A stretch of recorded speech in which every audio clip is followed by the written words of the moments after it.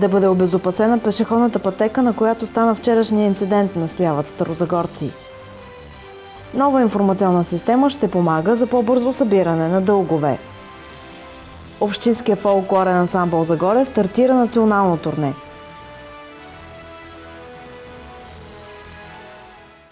Добър вечер, дами и господа. Вие сте с новините днес на телевизия Загора. Аз съм Женя Манахилова.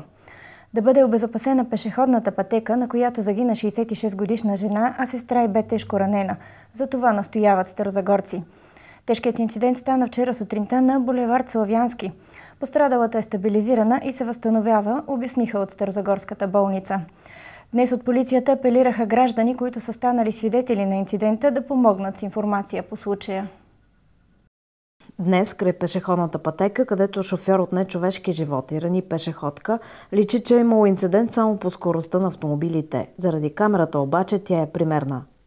Пешеходната пътека, на която стана вчерашния инцидент, се оказва едно от най-опасните места за пешеходци в Стара Загора. Според старозагорци трябва да се вземат мерки, за да няма инциденти.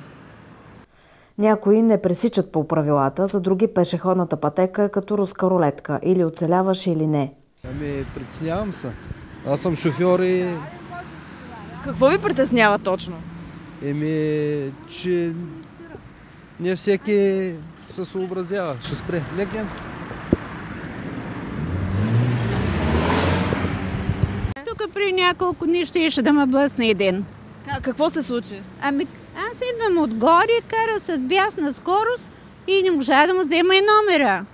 На пресечката въобще не спират. На косъм се разминахте? На косъм, не има на косъм беше и вчера пък станалото и нещо. Опасно е, защото гледай как карат, гледай.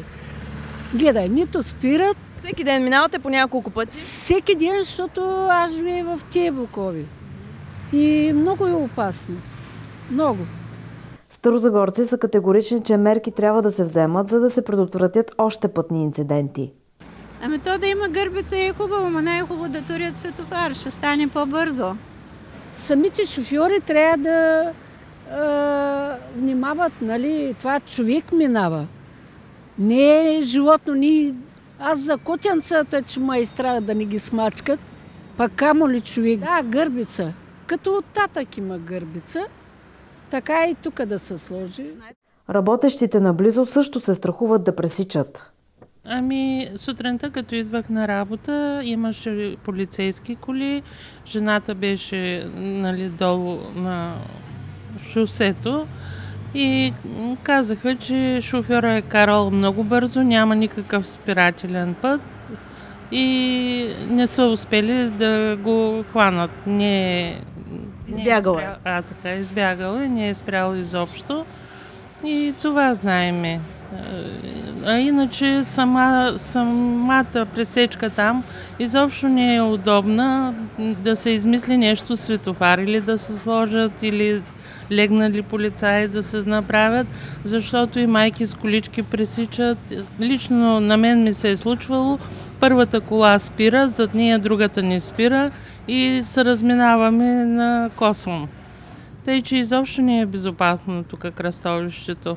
И вие също се притеснявате, като пресичате?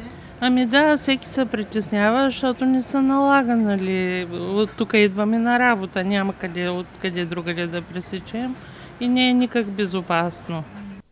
По думите на доктор Живко Желязков, заместник директор на Умбал, където е настанена пострадалата жена, състоянието й се стабилизира. Това обясни пред екипа ни и Мария Чавдарова, нейна колежка, от заведението на автогарата в Стара Загора, към което са отивали двете сестри, които работят там. Вчера се е разпитвали, съвсем нормално си е казвала нали, как пътуват, идват на работа и таксито ги блъска. Тя Сигурна е, сигурна е, че е такси. такси. Това го чух и от доктора, още като се е закарали е казал. А вече какво е, не мога да ви кажа. От полицията днес разпространиха съобщение до медиите, в което отправят молба към граждани, които са станали свидетели на инцидента или имат информация, която би помогнала при работата по случая, да се обадят на телефон 112 или в най-близкото районно управление на МВР, като анонимността им е гарантирана. Не всички обаче вярват, че ще се стигне до наказание на шофьора. Откъде идва тази ваша категоричност? Ами вие виждате какво става. До, до сега да има някой наказан? Не. Това е категорично. Само мога да кажа, че изък за човек, който си е заминал. Оставя семейство, деца, внуци. А тази жена, която в момента е в болницата, не ми е излизало такова, защото тя е натрушена и като я изпишат. Знаете ли, кой ще я гледа? Един син, друго е жена, друго е... А се, това са две сестри. Тази сестра и беше опората на тази жена, която остана жива. И затова жалко. Просто, просто шофьорите, аз пресичам всеки ден тук на тази е, пешеходна пътека, има гърбица, намалети, виждат ма, на половината съм, докато ни минат всички коли, не пресичам. Няма намалени, няма нищо. Хвърчат. Това е. Много хубава жена, кротка, обаче гледай коста. И виж как избягал само това. Вие можахте ли да го намерите то? Не. Не. Полицията го търси към момента. Сега е някъде към 11. Не знам до довечера дали ще го хванат. А, той таксиметров шофьор бил мой. По случая работи окръжната прокуратура в Стара Загора. Още вчера бе образовано досъдебно производство. Висшият съдебен съвет обяви конкурси за 18 длъжности за младши съдия в окръжните съдилища и 30 длъжности за младши прокурор в районна прокуратура. Две от свободните места са за районна прокуратура Стара Загора. Следват още подробности. По продължение на комисията по продълженията и атестирането, Висшия съдебен съвет обяви конкурси за 30 длъжности за младши прокурор в районните прокуратури в страната след извършено планиране съобразно продължението на главния прокурор на Република България. Две от свободните работни места са за районна прокуратура Стара Загора. ВСС обяви 18 длъжности за младши съдия в окръжните съдилища в страната. След обнародване на решенията на ВСС в Държавен вестник, съгласно правилата за провеждане на конкурси, кандидатите следват да подадат документи за участие в администрацията на Висшия съдебен съвет в столицата. Лек автомобил Пежо е откраднат вчера в Стара Загора. Колата е била паркирана на булевард Метрополит Методи Кусев. Кражбата е извършена между 13 и 13.40 часа. Сигнал в полицията е подал 65 годишен старозагорец. По случая е образувано досъдебно производство. Нова информационна система събиране ще помага на НАП за по-бързото и по-ефективно събиране на просрочените задължения към бюджета. Софтуерът е внедрен и функционира от 1 февруари, като е разработен изцяло вътрешен ресурс на НАП. Системата е изградена като веб-базирано приложение с централизирана база данни. Нова информационна система събиране ще помага на НАП за по-бързото и ефективно събиране на просрочените задължения към бюджета. Системата заменя ползването на три други програмни продукта. Тя обединява информацията за всички публични задължения на клиентите на НАП, както за данъци, осигуровки, така и тези предадени за събиране в агенцията от други органи на изпълнителната и съдебната власт, включително и вземания на общините.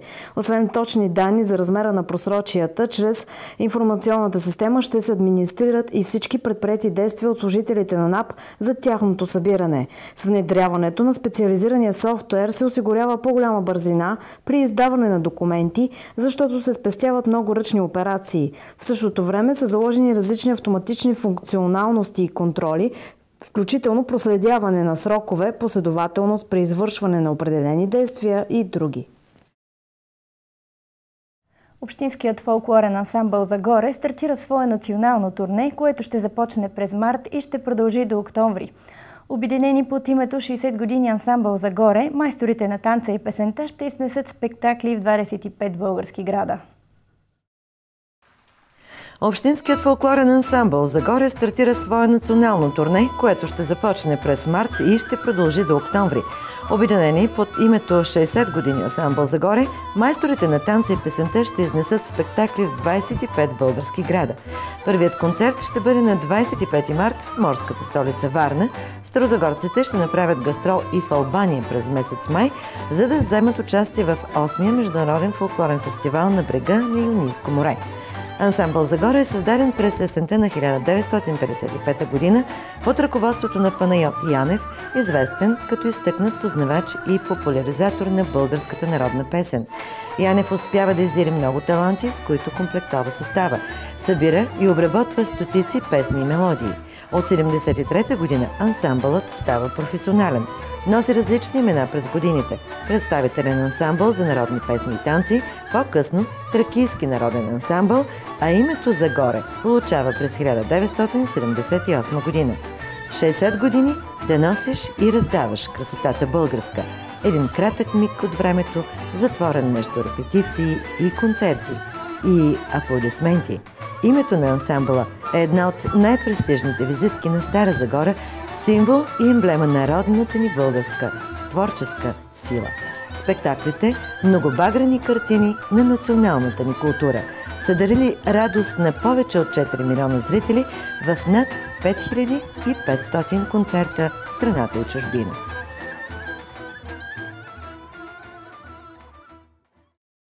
Баскетболистите на Берое постигнаха първата си победа в топ 8 на Балканската лига. Те спечелиха двобоя си с Морнар с 80 на 76. Следващата среща на старозагорци от Балканската лига ще е на 23 февруари, но преди това на зелено-белите им предстои участие в турнира за Купата на България. Футболен клуб Берое се наложи убедително над грузинския Саповнела последната контрола от подготвителния си лагер в Турция. Старозагорци победиха с 6 на 0 и през цялото време на двубоя бяха доминиращият отбор. Беройци победиха тима на Саповнела с убедителното 6 на 0 в последната си контрола на турска земя. Голмайстори на срещата бяха Стиван Петков, Спас Делев, Илияш, Веселин Пенев и Исмаил Иса. Днес момчетата на Петър Хупчев се завръщат в България, като от понеделник ще се подготвят изцяло за предстоящия шампионатен двобой срещу Пирин Благоевград. От понеделник, 15 февруари, започват ученическите игри по баскетбол, които ще се провеждат в Общинска зала Стара Загора. На следващия ден стартира и надпреварата по волейбол в зала Иван Вазов. Припомняме, че игрите бяха отложени с няколко дни поради обявената грипна вакансия. За начало на игрите по футбол е обявен 7 март. Това бяха новините днес на телевизия Загора. От мен хубава вечер. Повече новини в сайта ни загораnews.bg.